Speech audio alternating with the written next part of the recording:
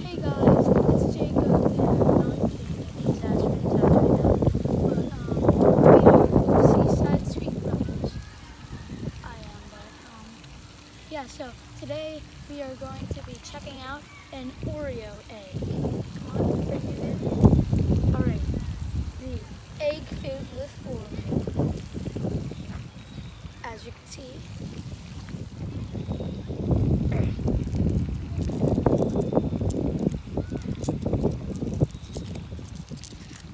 Since it's like almost Easter, you know.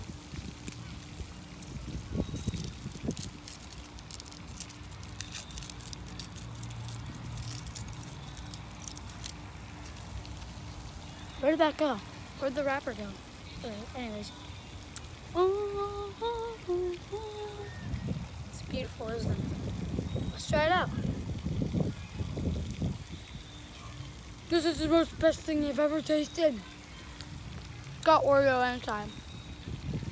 Mm.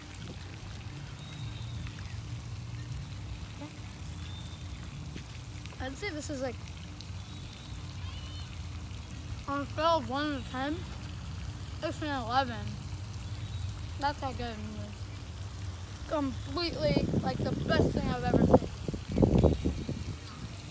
Goodbye for now.